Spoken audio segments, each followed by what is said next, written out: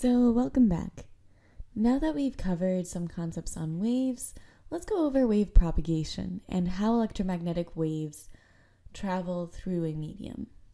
In this topic, we will be covering transverse electromagnetic waves, and I'll cover what that means in just a second. First, let's remember that for this topic and for electromagnetics, we, we will usually be covering sinusoidal waves that behave in a way that can be described with phasors.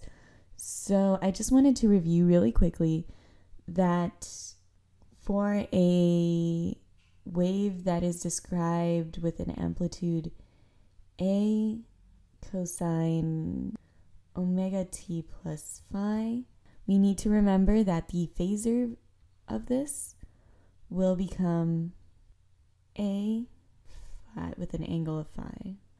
So just remember that when we are talking about phasors and what to do with them, remember that for phasor algebra, when we multiply, we have to keep it in phasor form. And if we want to add and subtract, we have to change it to rectangular form. So it would be b plus cj. So this is for addition and subtraction. This is for multiplication and division. So just keep that in mind while we go through all of these formulas. Now let's go over what a transverse electromagnetic wave means.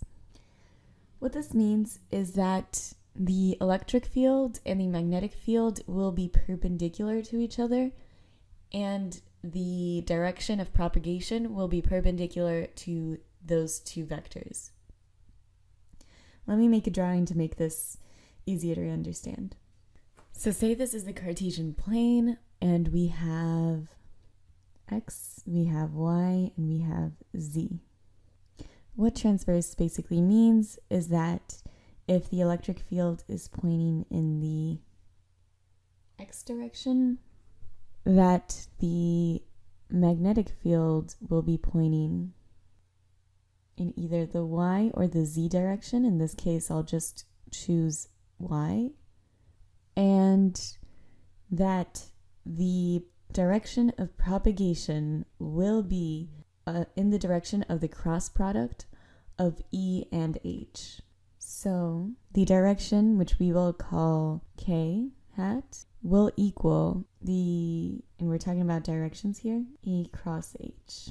So this is not equal as in equal to the magnitude, it's equal in direction. And remember my previous videos where I explain how to use the right hand rule. We're going to put our right hand and the fingers, the four fingers of our right hand in the direction of E, and then we'll curl them towards the second vector, which is H, and wherever our thumb is pointing is the direction of propagation.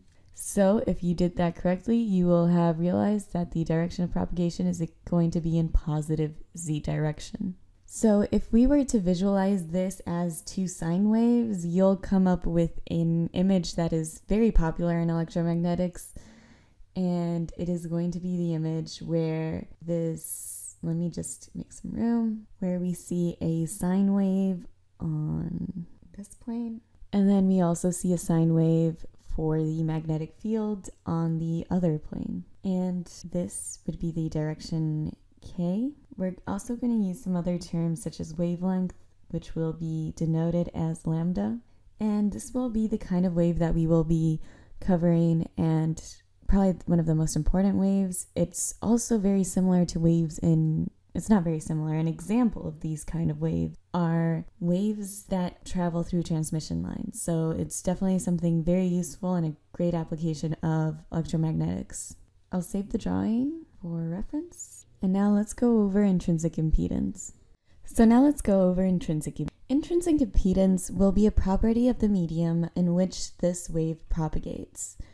It's going to determine a bunch of characteristics of how the wave will travel through it and will be a very important variable to find.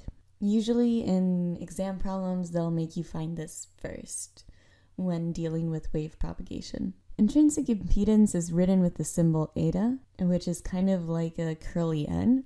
and it will be equal to the, in this case, k is not the direction of that propagation. It is actually the number of the wave. k would be given as omega square root of phase velocity epsilon. But in any case, you'll almost never use this formula. What you're going to use is going to be if you plug in k, this into k, you'll get that eta is equal to the square root of mu over epsilon in lossless medium. So this is a very important assumption and to be honest most of the time for this topic we'll always be dealing in lossless medium. Lossy media just makes it a little bit more complicated and so that's why usually they'll prefer to do lossless. And so this is a good formula to remember with regards to intrinsic impedance. I just wanted to show how, you know, you get there.